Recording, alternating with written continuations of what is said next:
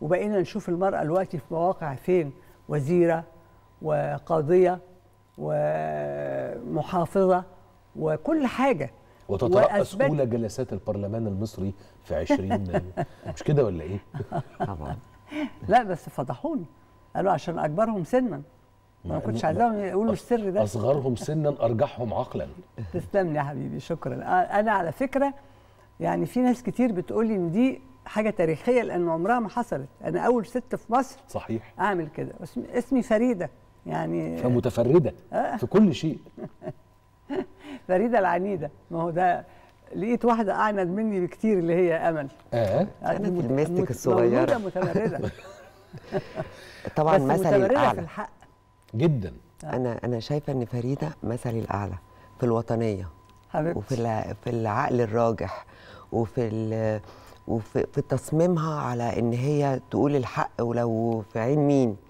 لأتخن كتخين. فده عجبني. ست صعيدية جامدة.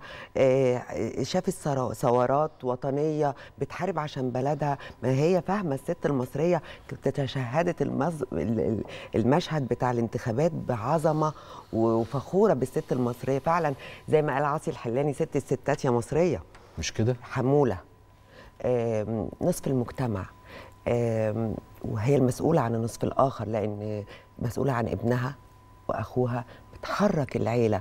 آه، بتحس بالخطر تحس إن هي هي تق- بتقف في وقت الزنقة بتقف. يعني وقت ما كان انتفضت في 30 يونيو كانت حاسة إن الهوية ألو... الهوية الوطنية هتقع إن في خطر على بلدها اللي هي بيتها الكبير. فلازم تحافظ عليه علشان تحقق لأولادها وأحفادها مستقبل باهر أو مس... آه، آمن. للأجيال الأخرى صحيح طبعاً. طب هنا هرجع لأستاذة فريدة المشهد الانتخابي بيشهد إقبال ضخم مهول لافت جداً. للنظر دلالة الإقبال ده إيه؟ يعني هسأل بعد شوية يمكن على أسبابه بس إيه دلالة الإقبال ده؟ الدلالة إن المرأة المصرية حاسة إن ليها دور في بناء وطنها في إعادة مكانة مصر ومكانها يعني مصر كانت يعني تقريبا اتهمشت في الفترة الأخيرة الكم ال- العشرات السنين اللي سبقت ثورة يونيو. بس النهارده مصر لما بتقول كلمة وده كان موقف المرأة المصرية الأساسي فيها لما مصر النهارده بتقول كلمة لازم العالم كله مضطر يسمعها. مم. لما مصر تقول إن تهجير الفلسطينيين القسري إلى سيناء ده خط أحمر كله فهم إن ده خط أحمر يعني صح. خط أحمر. ده مش شعار ولا كلام كده بيتقال آه، في الميكروفونات يعني. لا ده موقف خدته مصر.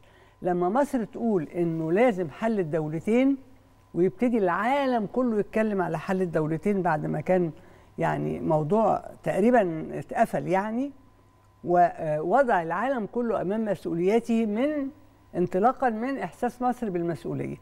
فمصر يعني دولة آه، زي ما كل الناس قالت الكبار يعني والعظماء قالوا إن هي لما بتبقى قاعدة العالم كله بيقعد معاها العالم العربي يعني.